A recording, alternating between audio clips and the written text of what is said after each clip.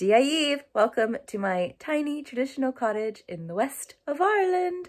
I know this has been long awaited.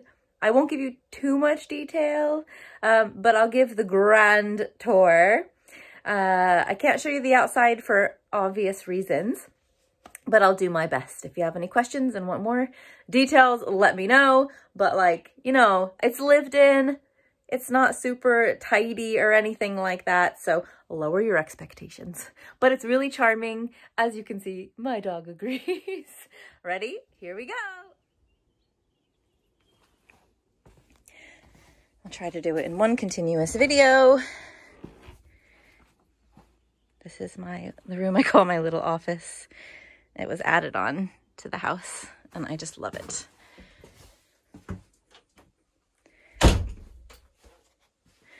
Do have distant sea views. Probably can't see them through the camera. Uh oh Sorry, I thought that my soup was boiling over. It was just my shoes squeaking. All right, Lou, let's give the tour. This is the main sitting room. It's where I hang up all of our jackets. Um, I put this cloth on the light because it was so bright. So when you first walk in, we have the loft that goes up to my daughter's playroom. And I will not show you that room because if I go up there, I will get upset because it's so messy. but she's allowed to have that space messy. And here's my bedroom. And then there's her bedroom. What you see is pretty much it, but I'll give you more detail here. This is the stove that will be put in eventually. There's our open fire. This painting my stepfather painted in the States. That's my Lady in the Unicorn tapestry I got for my graduation. Hello. Um, this is the creek I actually grew up on in New Jersey. It's called Jacob's Creek. I'll show you the living room from this angle. Okay, you're gonna hear some boiling. There we go. It's so cozy, isn't it? All right, Luna, do you want to show my daughter's room? This is our only heat source. These are art and games. Let's see. I don't know how tidy it is. Not terribly tidy. That's all of our storage and Christmas stuff because we have nowhere to put anything. I don't want to make anyone dizzy. Okay. I'll show you uh, my room, which is also very messy.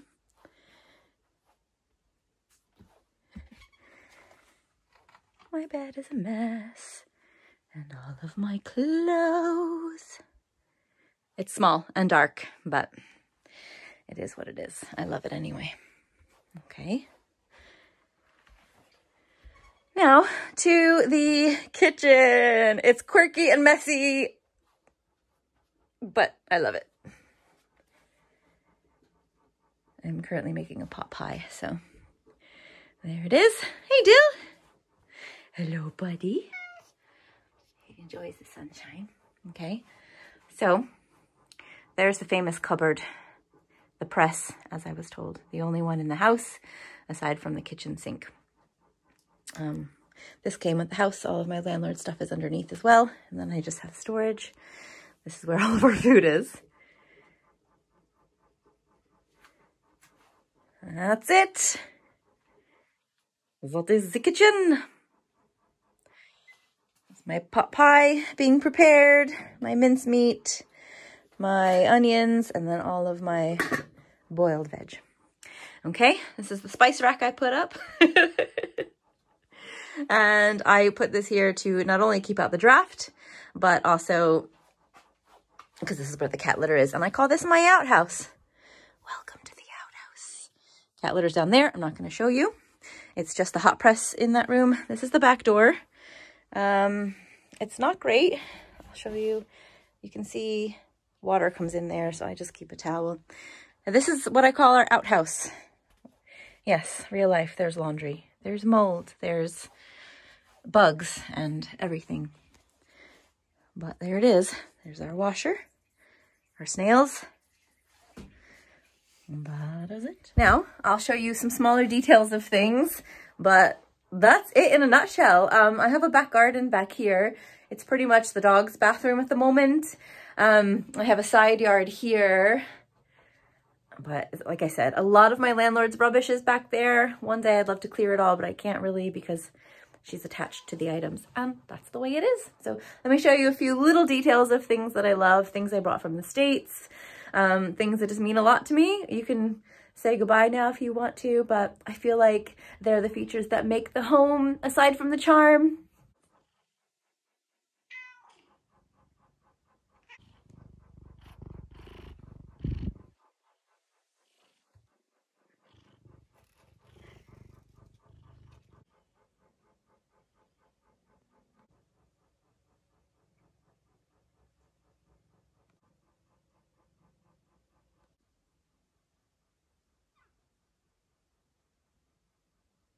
This tapestry back here. It's called Lady and the Unicorn. I received this as a graduation gift when I graduated university in the States from my mother. So it's come with me from all over. I graduated in 2005. So yeah, it's pretty old. For school, I had gone to, I think it was the Met in New York City, and I had seen either this tapestry or something similar. Um, there's a whole series of the, the unicorn tapestries. Um, and then I did my degree in English literature, and just, of course, I fell in love with Tracy Chevalier. She wrote The Girl with the Pearl Earring, but she also wrote um, Oh, the Lady and the Unicorn, which is based on the tapestry. Ideally, I want to put it up here that's my landlord's painting, um, but I can't reach, uh, but it's definitely like the focal point of my house. I love it.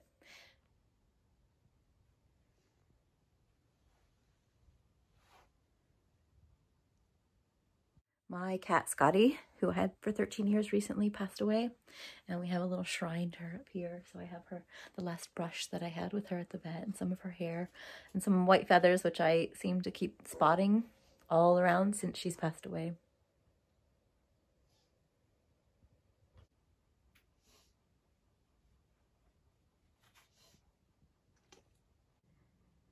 No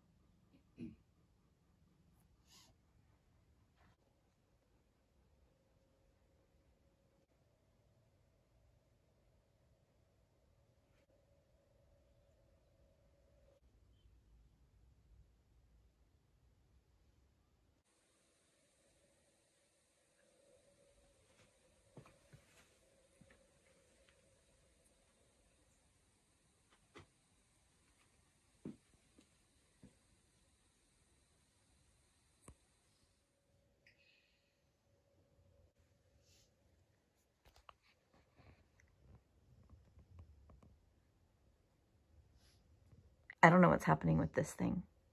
I've tried to shove it back up, but I've heard rodents up there. I'm afraid they're like gonna fall out. So I'm just gonna leave it.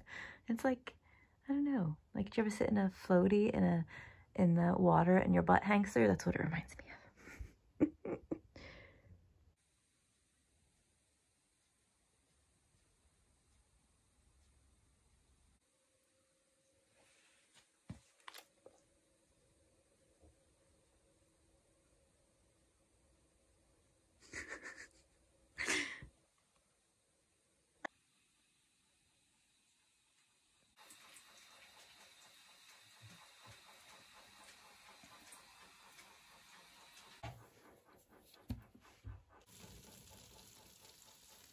And there you have it. I know it's a bit random, but there's the tour of my little cottage in the west of Ireland. I said it in the TikTok video that if I could, I would absolutely buy this place. I would fence in the full garden with the big field and have some polytunnels and get rid of all the rubbish and things like that. Um, clean it out a little bit and just freshen it up. Fill it with plants, which I'm working on. I have all of my lovely plants here. Um, it's absolutely absolutely it's absolutely ideal. I definitely visualized this place for a good long while before i got it. It's always been my dream to have a little irish cottage. And like i said before it has its quirks it has you know its downsides but the positives far outweigh any negatives. And I'd rather take a bit of the cold and the wind that blows through it and the dampness to have this because it's so charming. I'm very visual and very aesthetic and it pleases my soul and my heart. So hopefully you enjoyed. I'll see y'all later. Slán, tóg go bog é.